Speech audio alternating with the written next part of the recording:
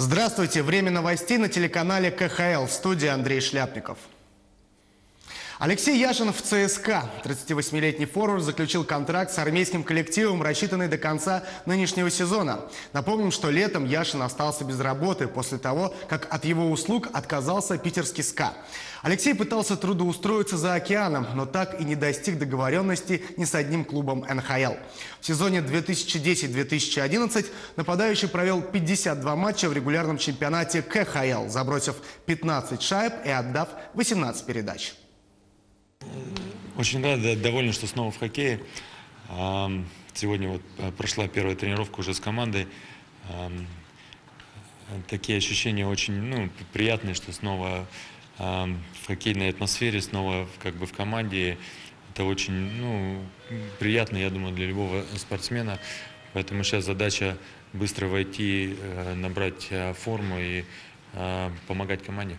Мы хотели найти опытного игрока для нашей команды, потому что много молодых игроков, который был бы примером, который, ну, который был бы примером для молодых игроков. Бывший клуб Алексея Яшина СКА потерпел первое поражение в сезоне. Таким образом, в КХЛ не осталось команд, которые еще не проигрывали в новом хоккейном году. У нас совсем другая тактика и манера игры. Я думаю, ни у одной команды КХЛ такой нету. Мы немножко по-другому играем, как все. Прав Евгений Артюхин. Нет в лиге команды подобной СКА. Армейцы начали сезон по-царски. Четыре домашних матча, четыре победы. Единоличное лидерство на Западе. Пятый поединок против минских динамовцев.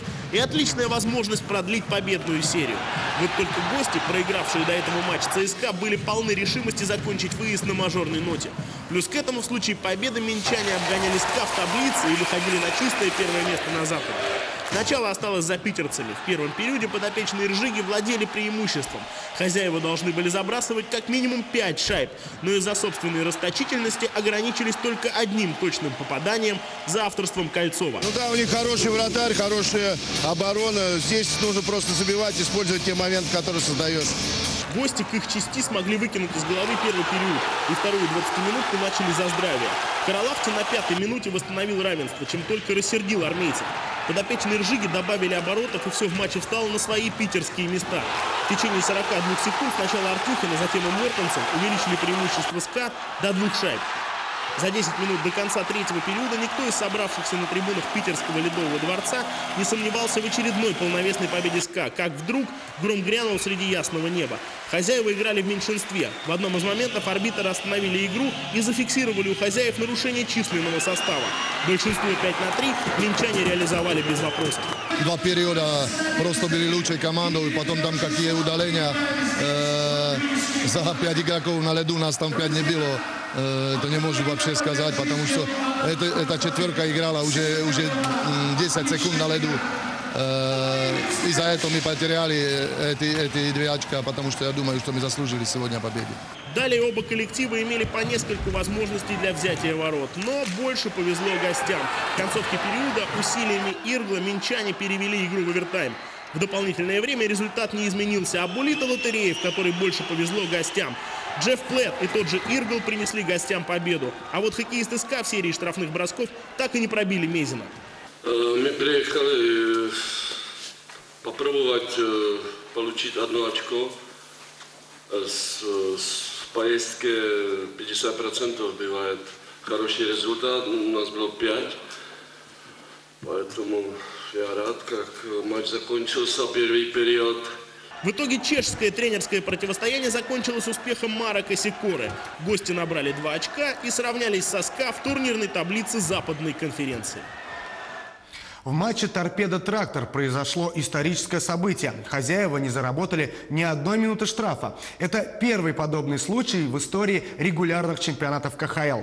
Отмечу, что до этого без штрафа играли только в плей-офф Кубка Гагарина. В 2009-м отличились Акбарс и Локомотив, а в 2010-м без удаления отыграли опять же Локомотив со Спартаком. Недолго радовались нижегородские любители хоккея. После стартовых матчей торпедовцы успели побывать лидерами лиги. Однако в последних матчах автозаводцы своих поклонников больше огорчают, нежели радуют. Вот и домашний поединок против трактора получился для хозяев провальным. Счет в начале второго периода открыли гости. Отличился Куинт. Хозяева быстро оправились от удара и через 17 секунд Крикунов восстановил равенство. Однако радость нижегородцев была недолгой. Гости ответили любезностью на любезность, и Панов через 31 секунду после того, как счет стал равным, вновь вывел трактор вперед. Единственное, на что сподобились гости, так это еще раз в матче усилиями Эллисона счет сравнять. Ну а дальше все как по сухой колее. Трактор проехался по сопернику. В оставшееся время Кузнецов, Якуцени и Попов довели счет до разгромного. 2-5. Трактор. В мытищах хозяева в поединке против аутсайдера Востока автомобилиста обошлись малой кровью. Игру подопечные Густавсона сделали в самом начале первого периода. Вновь результат Атланту обеспечила старая гвардия. На второй минуте отличился Каблуков, а на седьмой – Глухов. Оба нападающих забросили свои первые шайбы в чемпионате. Довести матч до победы в такой ситуации оказалось делом техники, который прошлогоднему финалисту Кубка Гагарина не занимать.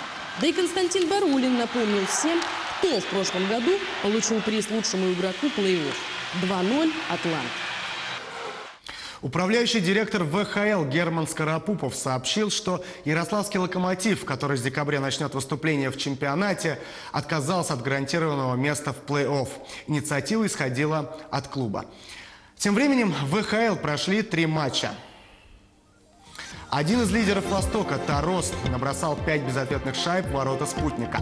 Касцинг Торпеда переиграл Кристалл. Только в серии буллитов Толетинская Лада одолела Ермак. В МХЛ в прошедший игровой день зафиксированы два крупных результата. Первыми разгром учинили в Омске местные ястребы. Под раздачу попали оренбургские белые тигры. Хозяева таким образом сумели порадовать собственных болельщиков после предыдущего домашнего поражения от «Реактора». Уже в первом периоде усилиями Орлова, Калашникова и Баскакова в сетке гостей побывали три шайбы. Во втором результативность ястребов немного спала. Они огорчили вратаря гостей только дважды. Ну а в третьей 20-минутке все стало на свои места. Зубков, Смагин и дважды Казаков довели дело до разгрома. Единственное, что удалось гостям, так это усилиями Шахова забросить шайбу престижа. 9-1 Ястреба. В другом матче финалисты Кубка Харламова «Стальные лисы» превзошли Амичей, набросав в ворота Олимпии аж 10 шайб. Остальные результаты игрового дня на вашем экране.